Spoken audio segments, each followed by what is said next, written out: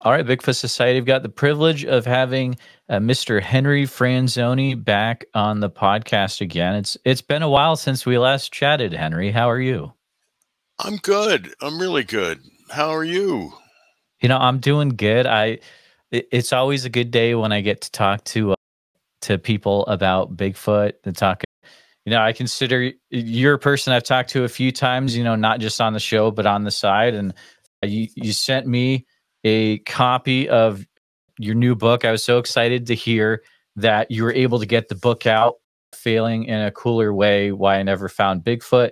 So we'll get into that later. But it's just, it's just always fun to to to chat with you. The last chat we had, we talked about your documentary back in the day, and uh, yes, that seems to be what I've no, I'm known for. Yeah, it's a couple a, of those documentaries that are now old. They're uh, classic, classic '90s Bigfoot documentaries. If listeners you know, haven't, 1996 and 1998, yeah. that's really a long time ago. You know, really. Surprisingly um, enough, it is a long time ago, which is it's a little scary, but you kind of, you know, you kind of yeah. deal with it. But yeah, I guess so. I'm not I'm not really adjusted to that yet. Yeah.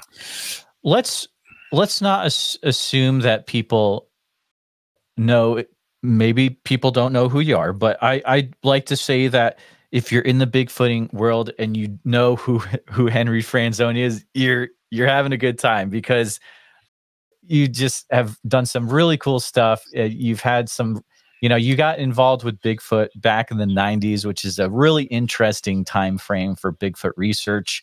You were one of the first guys that got involved with, you know, making websites for people and uh, you had the first I want to say the first forum, right? Yeah, I created the first online Bigfoot discussion group, the Internet Virtual Bigfoot Conference. And many of your Bigfoot icons of today were once members of my little online discussion group. And there was only one at that time. Can you believe it? There was only a single email group about Bigfoot. I would love that.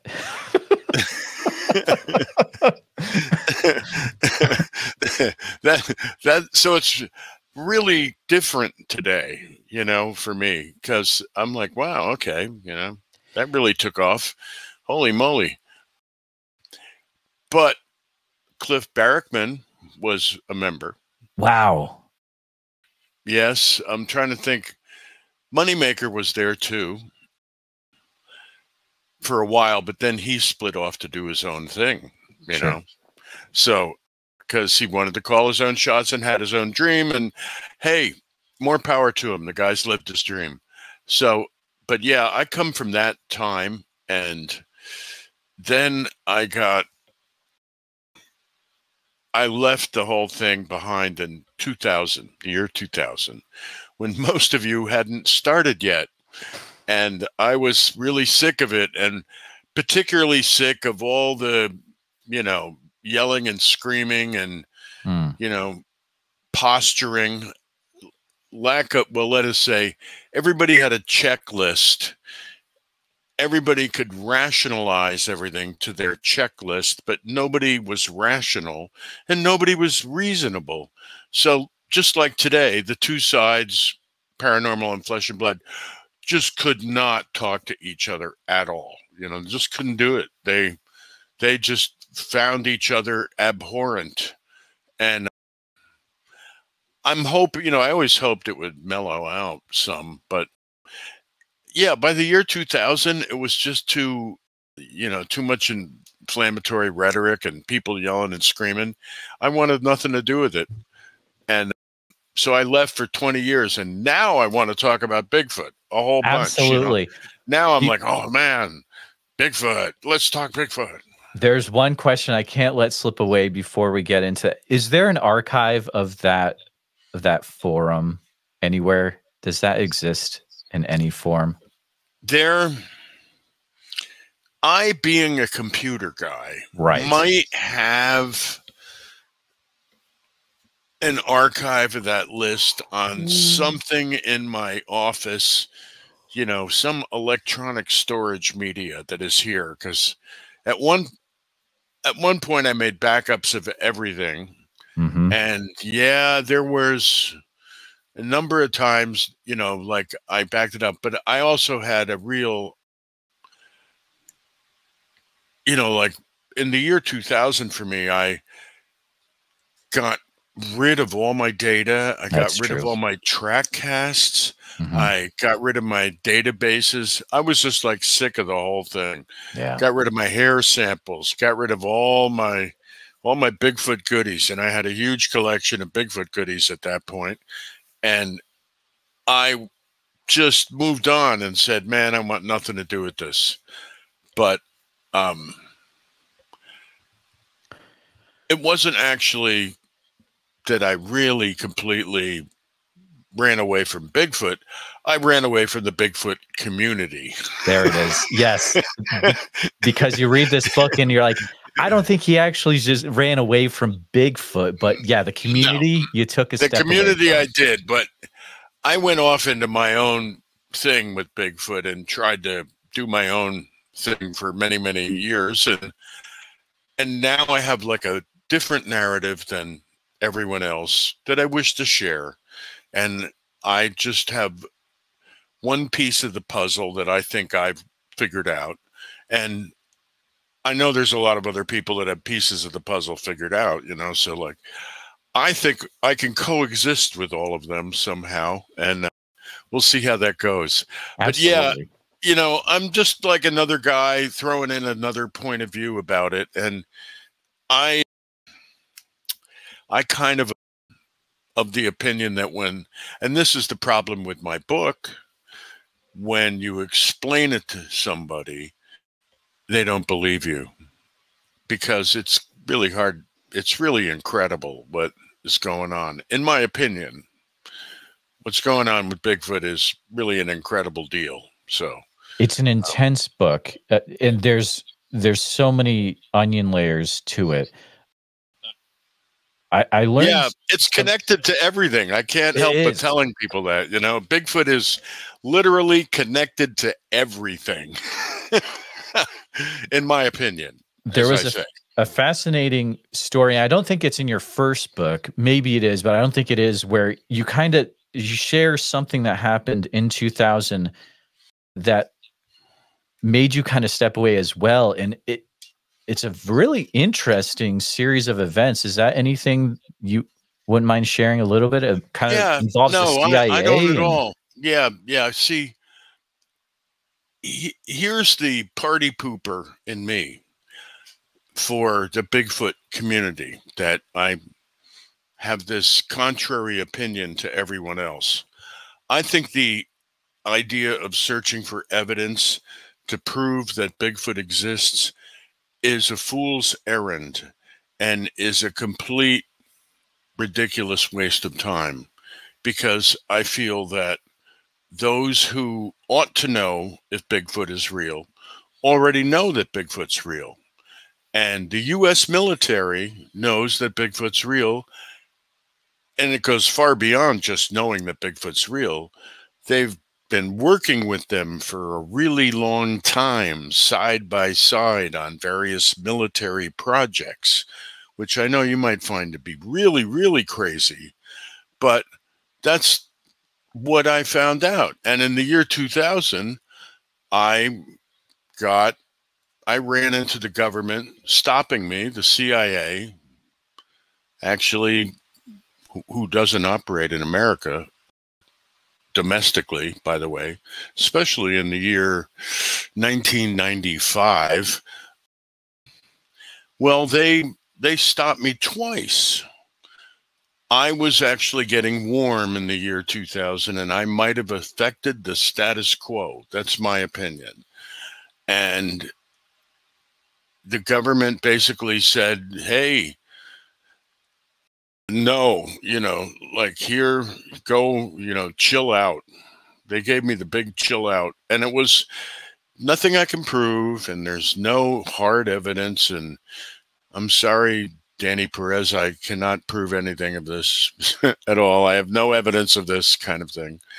But basically, they communicated to me through a few events that I document in the book that, you know, back off. What I had been convinced of at that moment that they, when they stopped me, by the way, was I was convinced that there was a Bigfoot village or headquarters or base or something underneath Mist, Oregon, in the gas caves that lie underneath Mist, Oregon. And I, at that time, I was hell bent on trying to get to the gas caves uh, underneath Mist, Oregon. And that's when the government basically talked to me and said, stop. and in a way of like, the way they stopped me was one arm of our military protected me from another arm of our military. And I saw that there was a division in our military government about this topic. And that was enough for me to just go, hey, I'm just a civilian. I don't want to, I don't know nothing, man. What, you know, sorry. Sorry, hands off. Uh, and so that really stopped me from being involved publicly with Bigfoot for 20 some years, 22 years, actually. One's counting. And only 22 years later did it become clear that the government, once again, indirectly, not in a way I could ever prove to anybody, communicated to me that it was okay if I ventured my opinion now about things like, hey, there's a Bigfoot base underneath Mist Oregon, for example.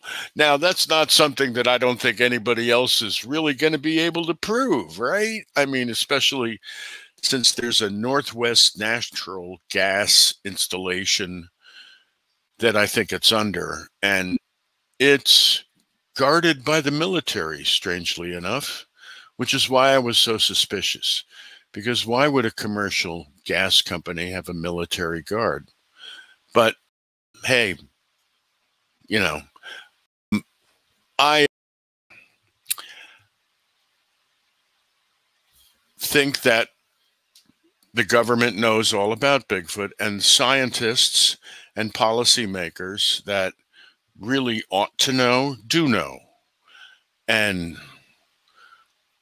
everyone that is in this field that thinks that they're actually accomplishing something by proving that Bigfoot exists by providing evidence to some scientist or policymaker out there is really playing with themselves. I mean, to put it indelicately. Mm. Sorry. And that's really, that's really, you know, that's the hard truth. I'm sorry. And yeah, I knew sure, that yeah. in two, I knew that in 2000. So in 2000, I knew the fix was in. And in short, they show you what they want you to see and the we are all being fed breadcrumbs by the government and it got really out of hand because there's a lot more to this story that I'm telling you right now. Big part of it is that they well, you know, my book, it's not like, you know, I really don't want to be that guy that's like, wow, you know, well, the CIA, yeah, yeah, my book, it's really cool. No, it's I'm not that guy. I right, I right. actually try to in my book I try to explain physics principles. When I try to explain why this is, why is the government hiding this? And I try to explain this to you. And it's a strange reason. It has to do with gravimetric motors. And it has to do with the news right now of what's going on right now. And I'll tell you what I mean.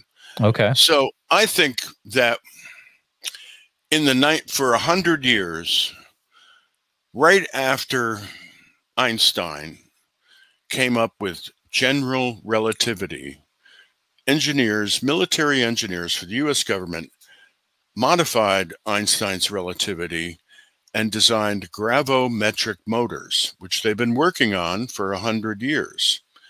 And in my book, I document Tesla claiming in 1931 in the Brooklyn Eagle that he has a motor powered by cosmic rays, which was at that time same thing. Tesla's name for the same thing. So I'm convinced that because this technology and these physics principles, and that's really what I try to just lay out in the book is here's the physics principle. This is the modified Einstein equation that gravimetric motors are constructed with. And it's a physics revolution. And what happened in the 20s was physics split into an open book, that's all the physics we know in the public, and a closed book that the US military knows. Mm. And they've been building these UFOs ever since. So now, right now, today, we have congressional testimony, whistleblowers talking about UFOs. Suddenly, the government's attitude is, oh, UFOs are real. We call them UAPs, but oh, yeah, now they're real. We don't know what they are. Yeah, baloney, you don't know what they are. So, this is like a scheduled release of information by the oh, government. Oh, absolutely you know, and they're definitely doing it. And what I'm showing you is the physics principle behind the UFOs you are seeing in their motors. And why I'm showing you that is because the weird thing is, and this is where I differ also from most Bigfoot people, Bigfoot uses gravimetric physics principles in the way they move, in the way they camouflage themselves, in the way they communicate. A lot of what they do is dependent on the same physics principle, which I try to explain in my book. Mm -hmm. And mm-hmm. this is why the government didn't want us to know about Bigfoot. Because if you understand how Bigfoot moves about and camouflages and does all that stuff, that paranormal stuff, if you actually understand the physics science of it, why that leads you to understanding what our black projects in our military are doing and all the UFO things. But 20 years ago, when they stopped me, they told me that one day they would come to me and they would tell me it was okay. And they came to me and told me it was okay to write my book. Now, the other thing, they weren't very helpful. See, I'm like an unwitting tool mm. of these guys because they said 20 years ago, they said, Do you know why we told you all these things? And I said, No. And they said, You will. And I'm like, mm. you know, now here I am 23 years later, and no, I don't. But I kind of think this is the right time because I see not only the UFO thing going on right now, but I see Dr. Salvatore Pais describing all these physics. And I'm like, oh, okay, I recognize those. I recognize this. And so I'm like, well, gee, I'm probably the only person that does recognize this out there. But I'm like, wait a minute, this is where I was headed 23 years ago.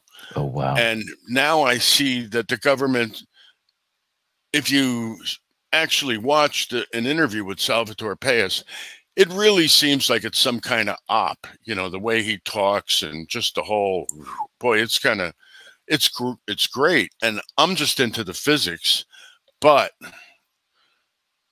the government is putting their cards out on the table right now about UFOs and Bigfoot. They're connected, and they're connected by gravimetric physics principles that were a huge secret. And for some reason, they're not a secret anymore. And the government is letting all the beans out of the can and the worms out of the whatever. And, or this is the beginning of it. At least that's my opinion. And I feel sure. that I see enough that's what my book covers is I see enough breadcrumbs that the government has laid out that they're telling us the real story or putting the they put the dots out there for us to connect. When i see a lot of these ufo guys talk about oh the government's hiding all this technology and everything i'm like yeah yeah they did for you know 100 years. But they just put everything on the internet so that you can understand what it is.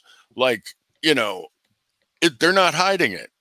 Here's the physics principles. I sort of do what i think is really obvious which is you connect all the recent nobel prizes with einstein with all these other things. If you look at the big picture instead of looking at each little thing and focusing just on that thing and excluding everything else, you realize that the government is actually fessing up to all this secret technology they've held onto for 100 years. Wow. And it's connected to Bigfoot.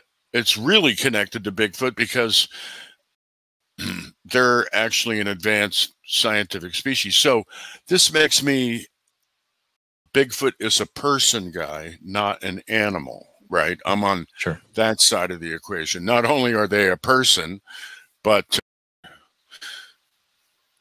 define a person, you know, I mean, that's also what I try to do in my book is to point out what flesh and blood really is because everybody throws that term around. Flesh and blood, flesh and blood, flesh and blood. Well, what is flesh and blood?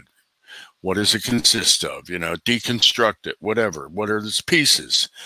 And flesh and blood doesn't exist unless there's somebody looking at something that's flesh and blood. You know, in other words, flesh and blood implies there's an awareness, there's a consciousness outside of it looking at it. And so you can't separate consciousness from flesh and blood. And that's a fundamental problem for all flesh and blood people because biologists today in current mainstream biology do not understand what consciousness is and what its role is in reality and in physics. And so, unfortunately, the Bigfoot thing goes into that as well because we have to change our science to understand Bigfoot that's the real problem. We have to understand a different sort of physics. Now, this would be revolutionary. Oh boy. Except it happened a hundred years ago and they've kept it from us. So I didn't think of anything. I'm just connecting all the dots and I see all the dots laid out there by, you know, mysterious, the hidden hand behind the hidden hand behind the hidden hand. I mean, I have no idea who's doing this but I I got some guesses about who's doing this, and it's our U.S. military that seems to be maybe not of their own volition. Here's where we get to the other thing, because unfortunately, my book gets into this too, which is Bigfoot is management of this geometry of space time they're actually management.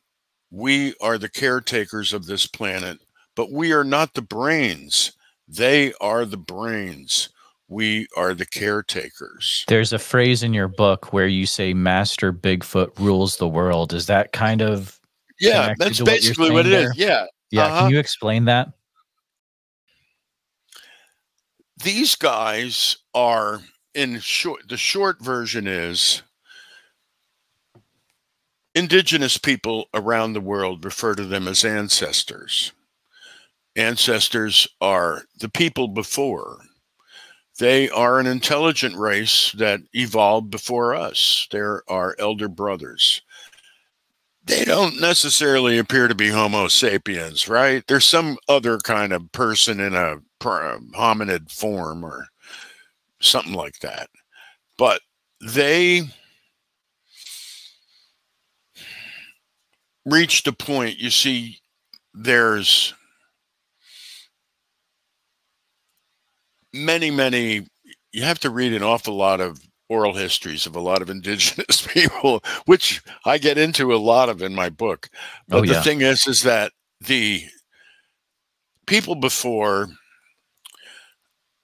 are our elder brothers in most indigenous cultures. Their cultural view of what's going on is completely different than our cultural view here in white man land. In the indigenous, in the Native American cultures, which I'm most familiar with, and which are where I spent the last 30 years, everybody, like the default is you believe Bigfoot is real. Even if you've never seen a Bigfoot, you've heard stories about Bigfoot and you all believe it's real. And then there's many, many layers of knowledge about Bigfoot within the other tribal cultures. What is meant by the term Indian medicine gets deeper and deeper and deeper and has many, many layers. And what is meant, who Bigfoot is, becomes deeper and deeper and deeper. And then you find out that every tribe has a different opinion. And there's really a lot of tribes, 537 registered ones in America or United States right now. The thing that you find out is that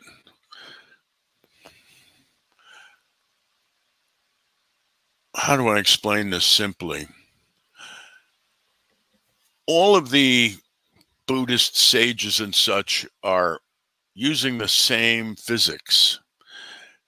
It turns out that the subconscious mind, the true powers of the subconscious mind, when accessed by the conscious mind, result in your ability to shapeshift, uh, teleport, uh, communicate telepathically. You can do all kinds of stuff with the true powers of the subconscious mind, including like create a black hole with your mind and then walk through it, which is what these guys basically can do. They have so much power in their mind, they can create a black hole and step through it. Kind of like, you know, their own portal to anywhere in the galaxy. So they are a species that has reached an evolutionary stage where they obtained their energy from the fabric of space time. They no longer bother with other energy sources such as deer and elk and rabbits. However, they seem to enjoy to hunt them and eat them. You know, like they still relish their creatureliness and they're like hillbillies. So even if they're like advanced scientists, they're really, you know, just as they really relish that creatureliness. But these, they're very much like Indians in that way, in that they are very comfortable with their creatureliness and their intellect simultaneously. But when you really master the conscious control of the subconscious mind, you're basically able to do the same thing that our engineers can do in the black military world with gravimetric motors. Basically, you can make a gravimetric motor with your mind if you have a mind as strong as Bigfoot's mind. They have a super, super strong mind. So, what this means is, and part of why you have the association with UFOs is they're the brains of this planet. So all the other species that come visit here visit them first. We're an afterthought. We're They visit the, Bigfoot first. yeah. It's like Okay. Star. It's like Star Trek Four, where the Right. Yeah. came down for the whales, the gray Right. whales. Classic. They, yeah. they come down. They come down for Bigfoot, not us. Them, because their tele their minds are on another order. I mean, literally, they're like four dimensional beings. All the ones I've met. Now, of course, I allow for. I only know one tenth of one percent of nothing, and so I know there must be all these other things going on. But this is what I know from my experiences, now that I've had 30 years of them, I'm like, yeah, no, the ones I know, um, they all can step in and out of this dimension. you know, all of them. And they're all telepathic and they all, you know, I mean, come on. I mean, I, have never known one that wasn't um, super smart or of the contacts I've had, you know. So that puts me in a strange place with the Bigfoot community because I'm I'm on a different approach than oh, they sure. are. Uh, com- you know, completely, I yeah. have, I have just a different approach, and we can coexist. Though I mean, I I really don't have any objections to anything they're doing. In my opinion, Bigfoot can kill you with a thought, and so you should not screw with them at all. You should have a lot of respect, and um, the idea of shooting them or anything is ludicrous to the point of uh, and another thing i always say which is interesting maybe all stories about bodies are false. Really? Yes i've never ever ever heard a body story about somebody finding a body body this body dead one there dead that that didn't turn out to be false. And it's because no one's ever touched their bodies. Of all the researchers you know, if you think about it, and step back and think about everybody, has anybody ever touched one that you have ever heard of? Hmm. Yeah. Think about it. Right. There might yeah. be, there might be. Okay. You know, I'm just saying, okay, think about it. Now, they look like us yes, they're related to us. Yes, they got to be, right? They look like primates or hominids or whatever. They got big butts. But in my opinion, their bodies are not like our bodies. Their bodies are quite different than our bodies. They might look just like flesh and blood, like you and me, but they have mental control over the density of their bodies. They have mental control over like the whole structure of their bodies. And one of the first things I encountered was tracks of a Bigfoot that turned into tracks of a deer. And so I knew from 1995, I knew that Bigfoot was a shapeshifter. No one, no one believed that. My own eyes told me that. And I said, wow, you know, I could understand why no one would believe that. That's unbelievable. You know, that's literally unbelievable. But in my early days, in my first five years, where I went out and examined every sighting report I could find in Oregon and Washington mm-hmm. with a team, and we had $5 million to look. So it was a full time thing. We all just ran around like crazy like the crazy Bigfoot researchers of today, we ran around gathering stories and sighting reports and every bit of evidence we could find to gather, you know, to prove Bigfoot was real, right? To policymakers and scientists so they would take it seriously. That was the goal of the Bigfoot Research Project. So, you know, that's also why I failed is that was my goal 30 years ago and then I became one of the policymakers for the government and one of the scientists for the government and then I started to see that oh no actually how naive I was about everything so you know yeah. I just want to do a quick pause because I know there's probably a few listeners that are like, why in the world is he not talking to him about the Bigfoot reach? Guys, there's a first episode where we go deep into it. So you need to make sure you listen and you can stop making that comment in on this YouTube video that right. no, you're co- about we covered that. we, we, covered, covered that. that. that we did. A, we covered that. Bigfoot research project. Pretty good. Yes. There's a question I have for you. So in the book, you mentioned there are places that facilitate contact with the minds operating at different frequencies than ours, and that you know of a couple spots. Is that yeah, anything you can go more into or well yeah there's you know sure i mean on the one hand Rene Dahinden told me this a really long time ago. Everyone knows where the hot spots are. And that's true.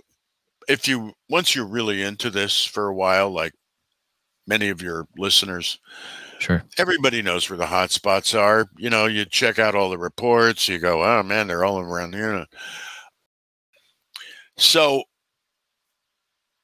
in the other cultures, Bigfoot is a protector. Bigfoot is a, well, it depends on the tribe. The Nez Perce regard Bigfoot as part of their creation story.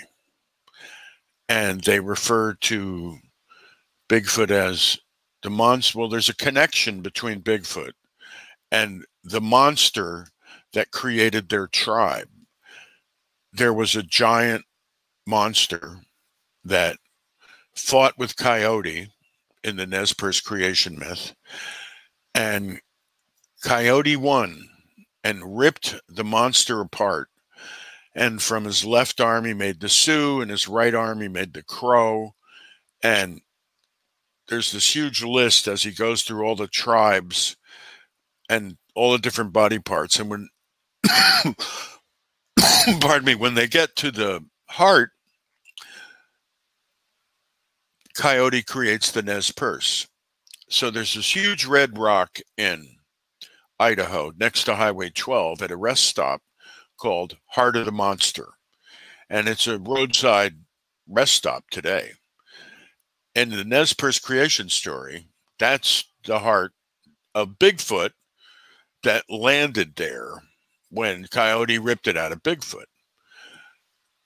The Nez Perce crawled into this world by crawling out from under that rock, from caves that were underneath that rock. And that's how they came to be in this world. So there's a connection between Bigfoot and that. So now they have many places, they have smoking spots around the res where you can talk to the ancestors.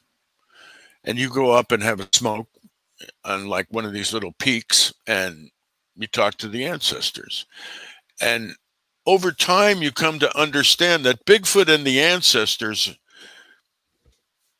are the same that bigfoot are these people that once evolved to a point where once they got full control of the true powers of their subconscious mind yeah, they could shapeshift or they could uh, go to the Delta Quadrant through the wormhole. You know, like they could go anywhere. And at that point, they became the ambassadors for this planet with every other species. And all the species that are evolved to that level where they derive their energy directly from the fabric of space time seem to be location independent, let us say. Like it doesn't really matter where they are, where they came from. They're everywhere in the universe at the same time. Wherever they want to be, they're there, right? They're all like the Q continuum. They can all just like poop, poop, poop everywhere. Except there's lots of species that are like this. We really are the dumb guys in the big picture. And Bigfoot kind of insulates us from all the others. Like they're kind of our, they're the brains here. We're the caretakers. And apparently, I never thought that this would come out in public. But apparently, the government's headed towards the point where it's going to confirm this insane claim by me one day. I hope.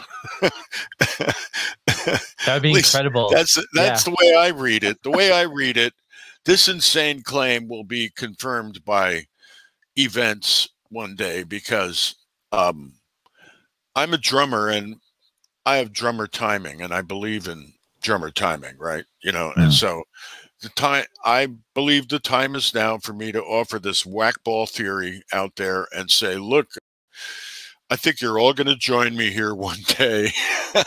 Absolutely. and yeah, I'm not, I don't believe in paranormal. I actually believe there is a science explains everything. Okay. So I am not paranormal guy. Although I am often confused for paranormal guy. Like everybody puts me in that box and goes, ah, man, you're into that woo woo stuff. And I'm like, well, I'm actually a mm. scientist. yeah, it gets a little a little weirder than that. Yeah. You I think you may have alluded to this part in when we were just talking, but there's a part where you say looking over the thir- past 30 years of digging around learning about little people, giant birds, water monsters, the people before, dogman, etc. And you talk about some of those in detail in the book, but I don't I may have missed it, but I don't think you go into dogmen. Did yeah, you have any interactions with yes. dogmen stories? Yeah. Yeah. No, I here's here's a dogman story, which all right, you'll hear from me. Oh, you'll oh, only boy. hear this one, right? Um, so I have uh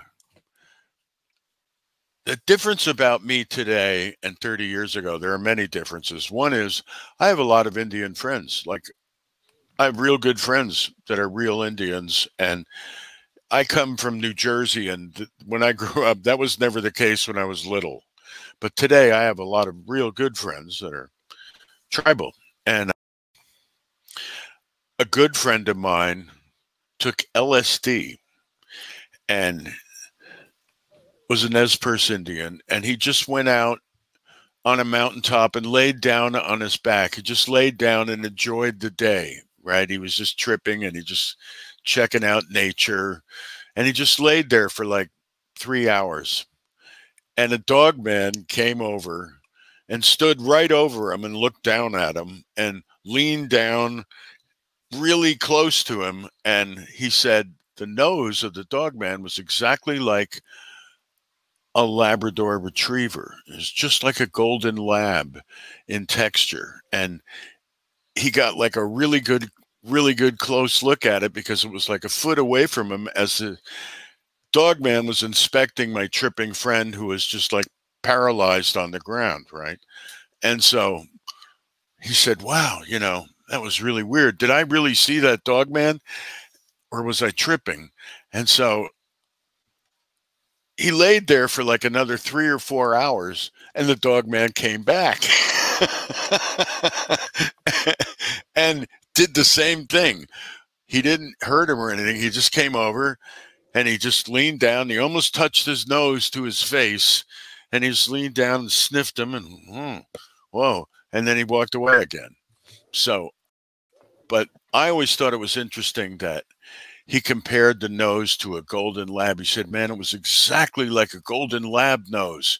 It was exactly like a golden lab nose. So I don't know anyone else that got that close. That's why that that's one of the weirdest Dogman stories I've heard. That's pretty cool. I'm going to throw in another curveball before we we talk a little bit more about the book, just for fun, just because it's a weird rabbit trail that I've had come up in different episodes. But in all your time in the Pacific Northwest, have you ever heard any stories about someone seeing something that looks like a hyena? Yes. Really? Yes. There's I've seen something that looks like a hyena.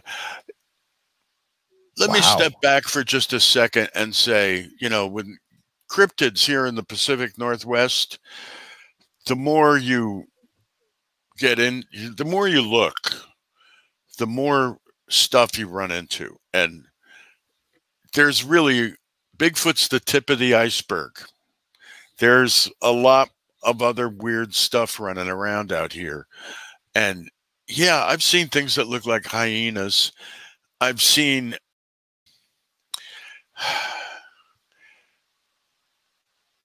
I I don't I mean I've seen some weird creatures like something that looked like a brown telephone pole on four legs that was low to the ground, like about a foot off the ground, that ran really fast and and was like about six feet long and was tubular but furry. And I was like, what the hell was that?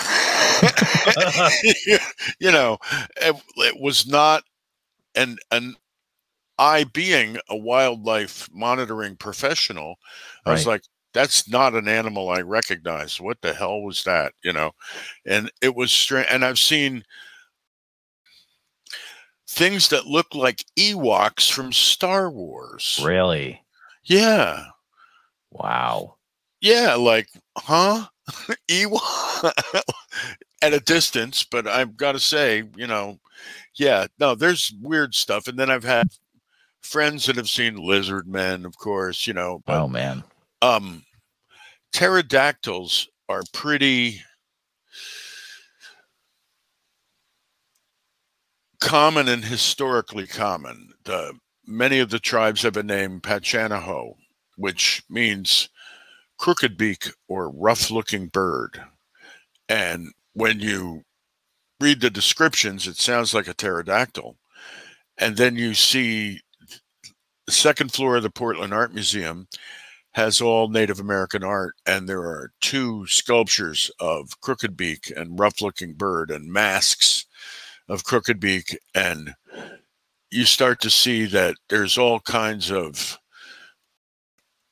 just like Bigfoot, there's many, many, many tribes that talk about crooked beak and rough looking bird. And what they're talking about is this pterodactyl that like still is around. That's what they're talking about. And wow.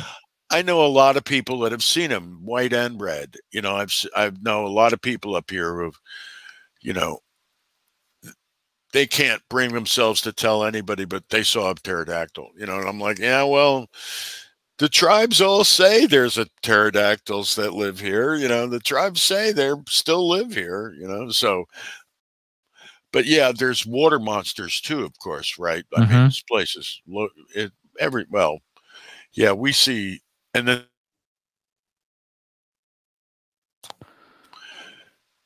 yeah, there's there's really there's witches.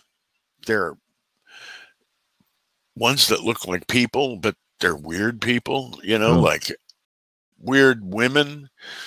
You run into weird women in the woods. I've I've got actually you know, it's there's some weird stuff out here. Rainier okay, so I I I forgot to mention you are based out of the Oregon area. You've been out in Portland area since 1974 when you went out there for college, correct? Correct. Um, yeah. So that's kind of our, our background about where we are. But have you ever been out to the Rainier, Oregon area? Endlessly. I mean, I lived very close to it for 20 years. Tell me yes. about the Bigfoot scene in yes. Rainier. Is there oh, anything weird? I could like, tell, tell yeah, tell oh, I could tell you all about it. I yeah. could tell you all about it. Okay. I watched your recent interview Did you? with a yeah. guy and I I just said to myself, "Real, I'm just glad you asked me because I know, I know things about that. I just thought oh. that guy's story was so fascinating, right? Yeah. I was like, oh man, that's on top of the Mist gas caves. No, it's not. Yes, it is. Oh no, Henry. Yes, it's right on top. Oh, jeez. Yeah, and so that's where I was looking, right? That's where I said, "Hey, there's a Bigfoot base underground here." you were looking in that same area, and that's when the CIA I knew exactly where his house was. Yeah, I knew Holy exactly mackerel. where his house was when he described Neer City Road, and he described where he was on Neer City Road. I was like, I know exactly that property. You know, I was like, I know exactly where that guy lived. I, I was like, and then he said, Well, I live down here in the company land. And I went, Oh, I know exactly. Next to Evenson's holding, I know the timber baron that owns all the land around him. Evenson, who is someone I've worked with for 20 years. I was the Watershed Council coordinator for the Lower Columbia River Watershed Council. So I was responsible for doing wildlife restoration for all those people in that area all across Columbia, across the county there. So I really knew that. I went, I went all through that area as the watershed guy, right? I'm the watershed environmental. After I retired, the state of Oregon hired me to do salmon stuff for them. So I really know that area. But let me continue. The power lines where he is talking about hmm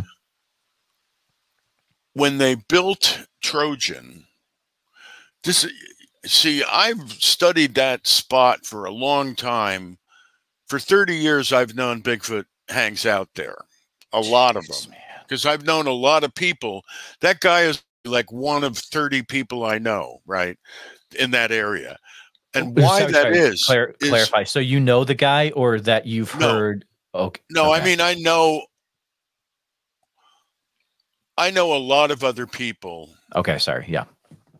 I don't know him, but I know from his story, boy did I know every detail of his story I could instantly visualize because I was familiar with his property. I thought it was funny that he talked about the way they moved, how they tilted and just moved without, and he never talked about whether or not they left tracks, and he never talked about, you know, whether or not they made a sound as they moved, and he made inferences that they were really quiet when they moved. And I was like, yeah, that's because they're actually like not even touching the branches, you know, but Oh man. that was me thinking that way. I was going, God, you know. And then he kept going, Hey, it was an animal, an animal. God, it looked like it had Down syndrome, like a guy, but it was an animal, an animal. And I kept thinking, yeah, he has a hard time processing that it's a person with Down syndrome, and it looks exactly like a person with Down syndrome. Yet his rational mind's going, no, it's an animal, the animal, animal, animal. And I'm like, no, it's a person. You were right. It's a person with Down syndrome, you know? Mm, So um, Wow. I, I thought that was really amazing that he really, like his own eyes, he could not believe his own eyes that it was a person. It was an animal, damn it, you know. And his father was trying to shoot him all the time, and I was thinking, well, that that no wonder. And then when he talked about the authorities seemed to know about it and were Oh, like trying to get the dad not, you know, man, I know it, you know. Here's why. When they built Trojan, there were Bigfoot prints all around Trojan what? throughout the whole construction process. Because Bigfoot is attracted to energy sources like a moth is to a flame. From the perspective that they have from where they live, which is not quite our dimension, things like nuclear reactors look like light bulbs. And like a moth, they are like, what's going on with that energy source? And so this is also my opinion, but Mhm. this is something that I've had a lot of experience with. and that is, yeah, all the nuclear reactors, when they get built, have Bigfoot footprints around them, according to what I've been able to infer. Really? Because big, yes, Bigfoot is attracted to atomic energy. Mm -hmm. Yes, yes. Believe it or not, I know it's pretty weird. So that guy lives right between the Northwest Natch on a straight line.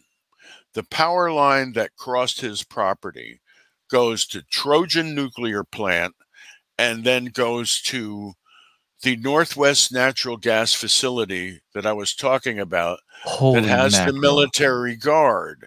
And he's talking about the power line that connects the two. Okay. That's what he's talking about. So and yeah, when I if you want to see him, go on that power line. Right. And I'm like laughing to myself, going, well, yeah, you know, because at either end of that power line, man, you're gonna you're gonna hit pay dirt, dude. You know. So Oh, yeah, that's where I got stopped 23 years ago. Was near there, right? Actually at the other end of the power line. The other end of the power lines where I was trying to get into the gas caves under there. Well, I was convinced they lived in the gas caves under there, right? So, gee, oh. that guy's story kind of confirms my theory in a way. okay. But you know, Disclaimer: Don't way. try to go into the gas. Like listeners, don't mess around. Right. Don't- no, don't it, you're not. They won't let you in there, man.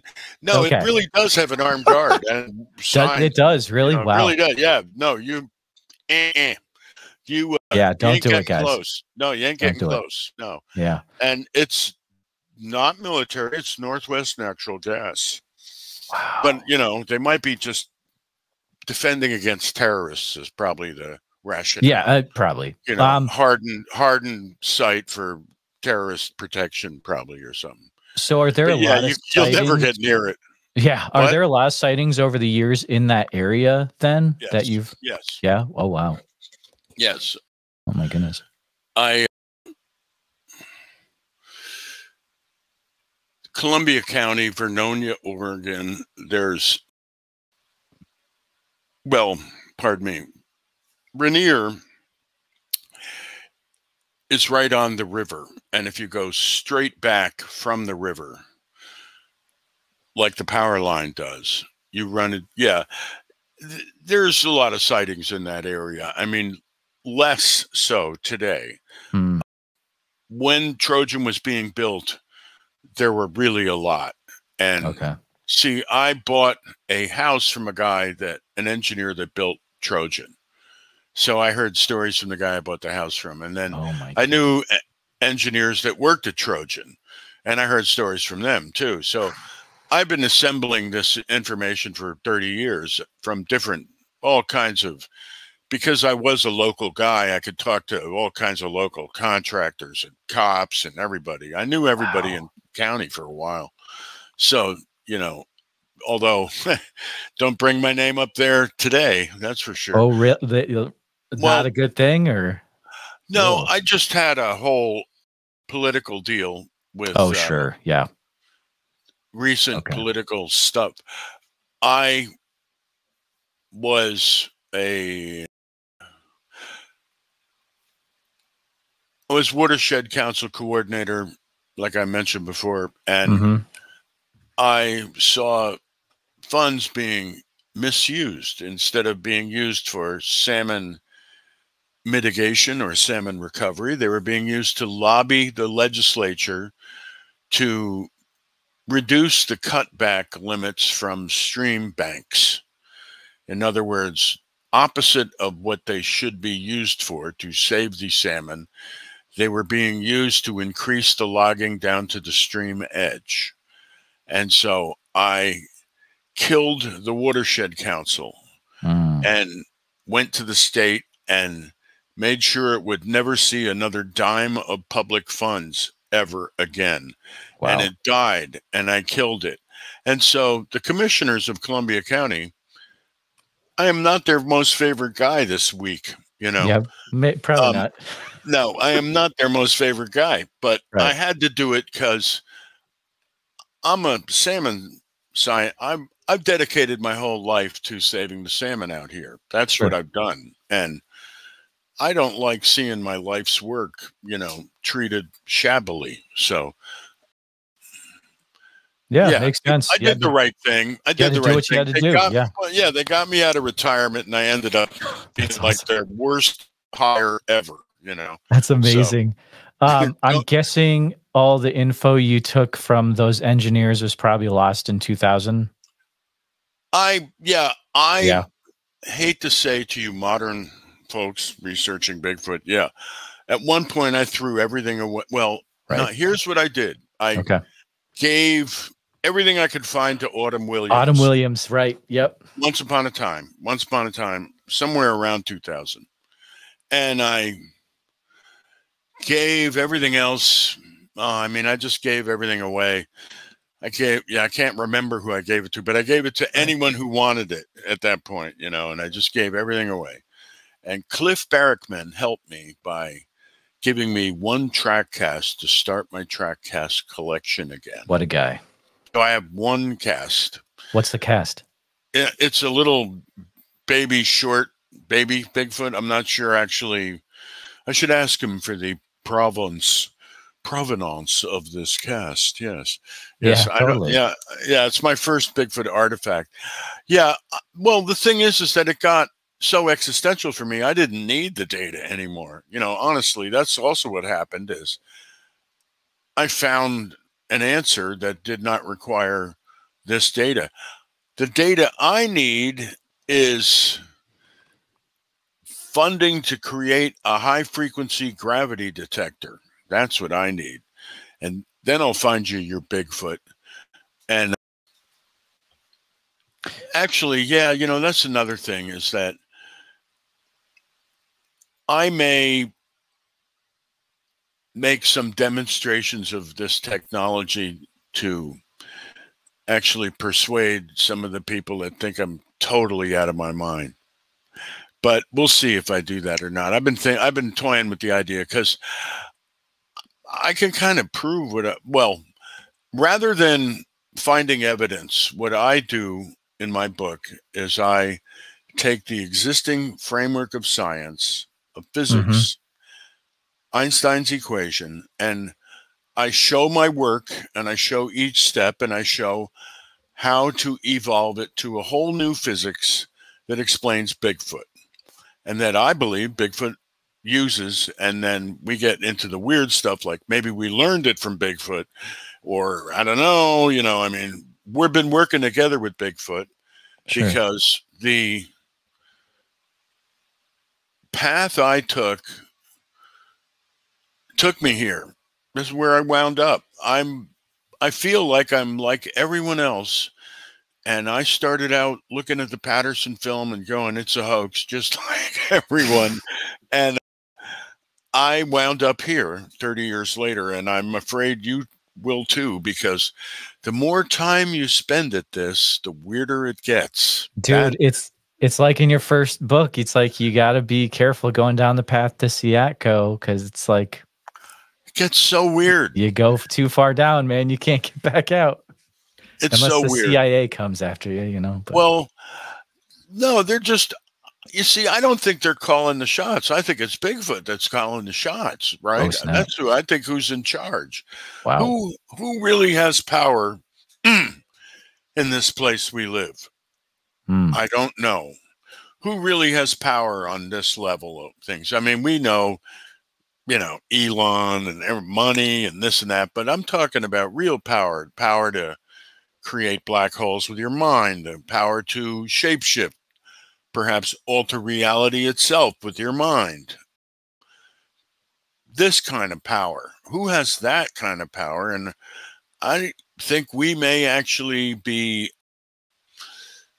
not, I think the US government may not be in charge of keeping these secrets. Bigfoot might be telling them to shut up and keep these secrets, you know, mm. and now they're telling them it's okay, you can talk now. I think our government may be getting this message, not just me, is what I think.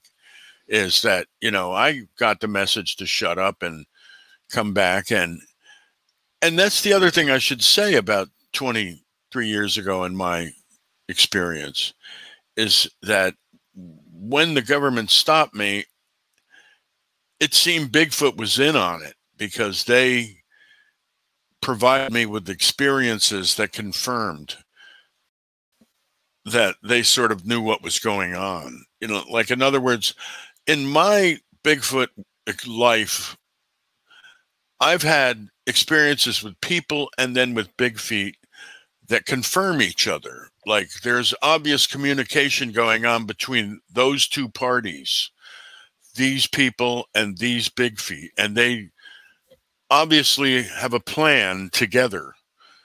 I don't think other people run into that. I don't, you know, I don't. You Can know, you and, provide an example? I I find that that's pretty interesting. Can you provide an ex- like an example of what you mean by that? How that's yeah. happened? Okay. So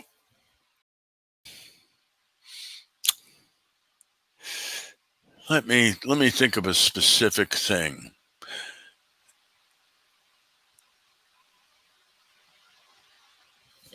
So I'm talking to this government guy one day. Okay. And the guy in my book who I worked with for 10 years, who I had the falling out with when things got super weird. And he told me a whole bunch of stuff about Bigfoot. One thing he told me was that, well, if you want to talk to him, just go out in your backyard. You can talk to him in your backyard. And I was like, what? Huh? And over time, I realized he did just walk out in his backyard and talk to him, and he was friends with them. And I was like, oh my God, he's friends with them and just walks out in his backyard and talks to them. And they come and talk to him. And he lives in the middle of the city of Portland. Wow. And so I was like, holy shit, what's going on with Bigfoot? And so he told me, he said, well, the thing about them is they have a, they all communicate to each other all the time. So if you talk to one, you've talked to all of them. And I said, Really? He said, Yeah, it's like the Borg. If you talk to one, you talk to all of them. I said, Oh, okay, that's weird. And so then I was east of Estacada in the Cascade Mountains about a month later. Okay. And I'm riding in a van and the windows are closed and my wife is in the passenger seat and we're riding along and we both hear i hear in my right ear and she hears in her left ear psst, like somebody going hey you know and we both just turn instantly and look at each other and go what because we both think the other one went psst in their ear then we realize it's an invisible bigfoot in between us that did this to both of us wow and we're inside a van right and so I'm like, okay, really funny. Okay, so it freaks out and everything. And I'm like, okay, that was really weird. Okay, fine. So then a month later, I'm in the Coast Range up the Nehalem River, whole different place, about 150 miles away. And I'm not in a van. I'm sitting there with my wife, and almost the same thing happens again. Same thing happens, except we're sitting there. And then I go, whoa. And I hear somebody laughing. And I go, whoa, it's like the laughing guy again. And I'm like, I really get the feeling that this was that even though nothing verbal was said, I get the feeling that this was them confirming that what my friend said. Like it just all happened within two months. My friend said, You talk to one, you talk to them all. And then in this mountain range, this guy comes up between me and my wife goes, Psst, and then over here in this mountain range, this guy comes up between me and my wife, goes, and then laughs. And I took it all in and said, okay, they're all in on it together. That's was my assumption. That may not be true. That's what the way I read the tea leaves at that point. I was like, you know, that's that's a weird thing. Now, a lot of that is my intuition, and a lot of that is my feelings because I had nothing more concrete to go on. The whole thing being telepathic in the first place. Right. Now, other things, there were just so many things actually.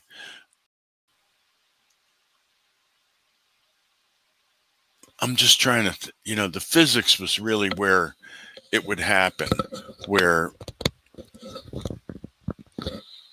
my friend and I would be into a big physics discussion about what the physics in my book, and we would be talking about gravity, and we would start talking about how he said, well, you know, first it was small and then it was big and I was like, oh, yeah. Because I realized when you modify Einstein's equation, that's what happens. Is gravity, this tiny little thing, becomes this really, really big thing. And and I was like, wow, yeah, that's that's cool how that happens. And then I went camping, like I was on one of my many, many, many times where I'm out in the woods doing salmon fish counting and stuff and building salmon detectors, which is was my job. And I get like a confirming event where suddenly I hear a four inch thick log breaking right next to me. And it sounds like a big crack, not like a log hitting a tree, but like somebody snapping a four inch log in half. And I realized that it's an electrical snap. It's a really, really loud electrical snap. And I'm out in the middle of the woods in Idaho, you know, like, and it's like, snap. And I'm like, whoa. And I smell the ozone. And I'm like, whoa, you know, what the hell was that? And then I think about my friend's discussion about how you flip the field equation around and the gravity comes from being small to big. And I'm like, yeah, yeah, like that. you know, like, and it was just, there were always things like this, like it was a curriculum. And my friend would say things, and then like weird shit would happen. Or I'd see a, well, another perfect example, this one too. Um,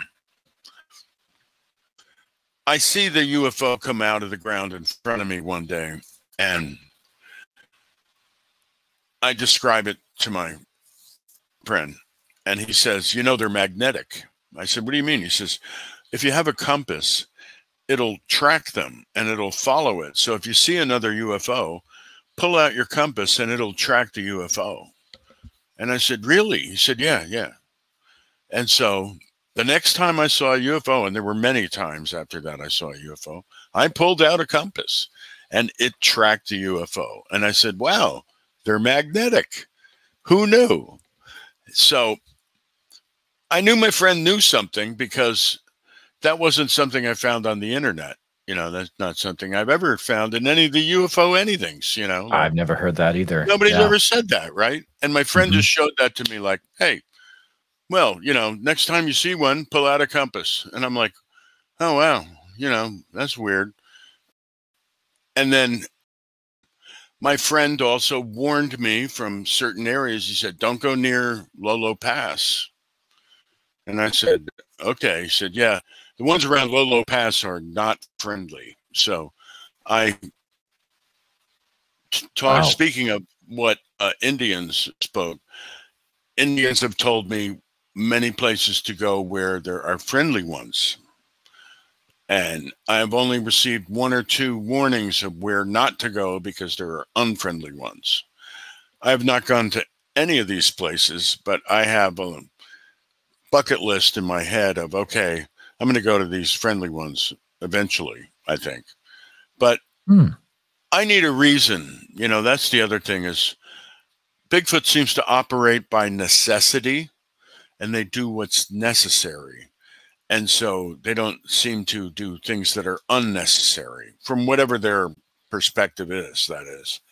And so it's like part of why I think I had a lot of interaction with them is I wanted their help to save the salmon. And I wondered how we could collaborate or work, you know, with towards similar goals in saving the salmon in the Columbia River because that was my life goal. Right. And so uh, I always thought of Bigfoot as a conservationist, as a true conservationist, and I aspired to be a true conservationist. And I think that maybe that's why I had a 30 year relationship with Bigfoot because I'm not wrong about that. And I don't think I'm wrong about them being the brains either. And I think that one of our roles as people is to actually be the caretakers of all the other species of plants and animals and living things here. I think that's what Bigfoot would like to see us do. But free will being free will, I think it's up to us, right? So, oh, sure. Yeah. You know, I'm kind of opposite of everybody else who goes, wow, you know, we got to save the environment for Bigfoot. I'm like, you're living in Bigfoot's lab. You are already in the lab under study. You are. Mm. They are studying you. wow. You're the you're the subject, buddy. You know, so that's really quite at odds with the rest of the Bigfoot community, I think. Oh, absolutely. It's you big know? time at odds. Yeah. Uh, oh well. You know, but hey, they're lost, right? Know.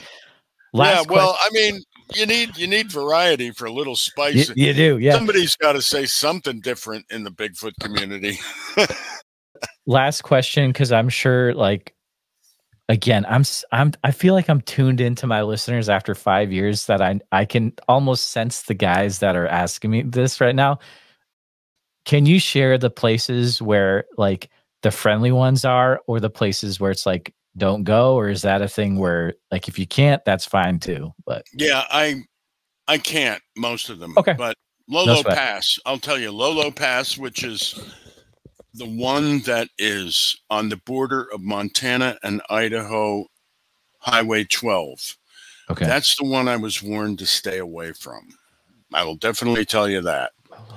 That there were a bunch up there and stay away from them. That isn't probably a place you guys even would look for babies. so, the the I'm trying to think of what else to, that I could tell you. The the thing about fundamental thing you got to understand is they live outside this geometry of space time most of the time.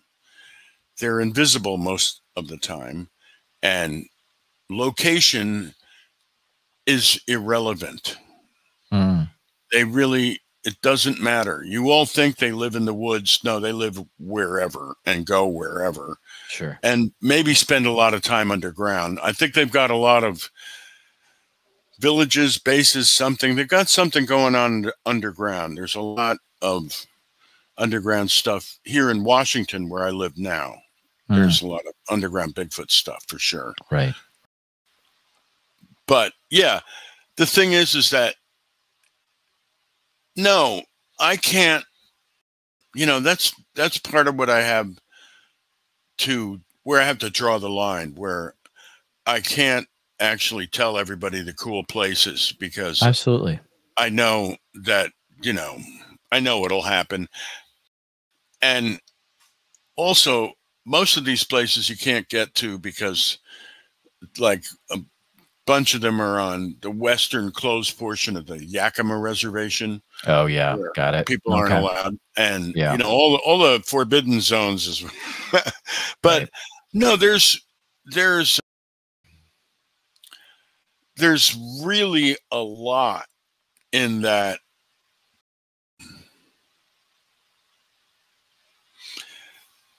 In 30 years, when I started, I used to think here in Oregon and Washington, I knew of like maybe five. Hmm. Now I know of maybe 50. Wow. And so there's really a lot. And I'm learning, I'm still finding new ones all the time. And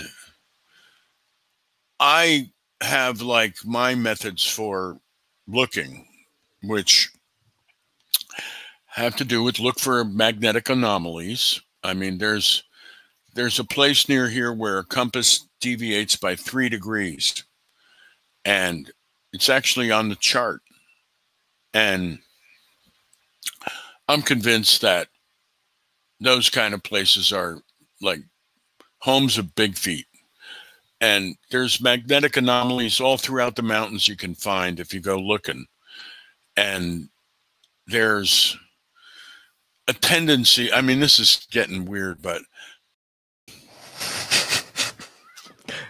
so when I looked at That's all the cool. data, when I looked at all the data like a computer geek, yeah, and looked for patterns, in the data, which I spent way too much time trying to do, I found that the continental divide of every continent is a place where there's a lot of sighting reports throughout history.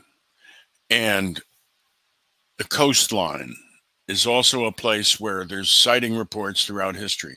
So when I gathered like 8,000, all the sighting reports I could ever gather, and I put them on a map of a North America, mm-hmm. it drew basically a really good outline of North America. Like the entire coastline was where mo- many of the sighting reports were, and then the Continental Divide, all along the Continental Divide. And as you go north, there are more sighting reports. So sighting reports begin to be of a high frequency at 45 degrees latitude and north. And the more north you go, the more there are. And mm. You can't look at the sighting reports. You have to look at something I call normalized sighting report frequency, meaning that everybody looks at how many sighting reports there are and they think, hey, you know, there's more here. That's where there's more Bigfoot. No, the formula you got to remember is the number of people per square mile times the number of creatures per square mile equals the probability of seeing the creature. And so this means that if there are more people, there's more probability of a sighting report. If there's more animals, there's more probability of a sighting report. But if you factor all the sighting reports of animals and you divide it by the population density of human observers, you get a normalized sighting report frequency that factors in how many people are there. And so you get a like modified sighting report frequency. And when you look at that number, that's when you see the northward shift. And when you see the coalescing of all the sighting reports around the continental divide. But if you think about it, the Yowie is seen mostly in the Blue Mountains of Australia. The Yeti is seen mostly in the Himalaya, also the continental divide. Oh, wow. The Tian Shan Mountains are also the Kian divide. The Almasty and the Pamir, also the continental divide. The Urals, Caucasus, also the Continental Divide. So the entire chain of Continental Divide mountains is where all the different big feet creatures are most often seen worldwide. And you start to see that pattern when you look at all the things endlessly. And then when you look at it closer, you start to see that the more north you go above 45 degrees latitude, the more there are. And really, it seems that if we were way up north, like it looks like probably there's way more big feet in Alaska and the tundra and the Northwest Territories than there are down mm-hmm. here. There just aren't enough people to see them. Right, exactly. That's that's what it looks like to me when you look at the normalized sighting frequency, right? So this means that studying the tribes that live on the Continental Divide yields the most Bigfoot stories and the most locations of contacting Bigfoot. But like I said, after a while, you realize that it's all in your head. You like I now know there are people that just can't go out in their backyard and talk to them. And I know tribal people that have relationships and like I know these people exist. I'm not one of them, but now I know they exist and I'm like, wow, you know, there really are people that are friends with Bigfoot. You know, really boy, and they're they're not talking to us. right. yeah. yeah. You know, like we're we're out. We're out of the loop, man. We're like we're not in on it. But there really are these people, and they don't. They're not in the public eye.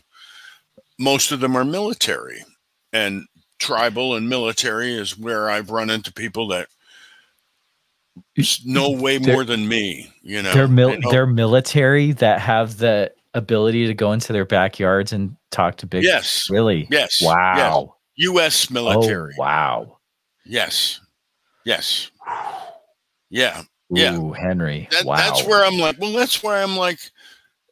Are you serious? Looking for evidence, you guys? I mean, who are you going to convince? I mean, that, and I realize it's because nobody like me's ever even said what I'm saying right now. Like, oh yeah, the government knows. Screw it, you guys. Come on. You know, everybody's like, well, I don't know. I've been a part of the community before, and I know what I'm saying is provocative and will, you know, I'm ready though. I, I have thick skin these days. So, but I, I mean, I know I'm stirring up the hornet's nest by, if anyone cares beyond thinking I'm just totally insane.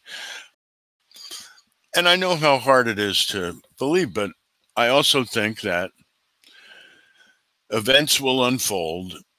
The way I read all this UFO disclosure stuff and everything is you'll all come and join me. I hope in my lifetime. Absolutely. oh, Henry, it's been super fun chatting with you.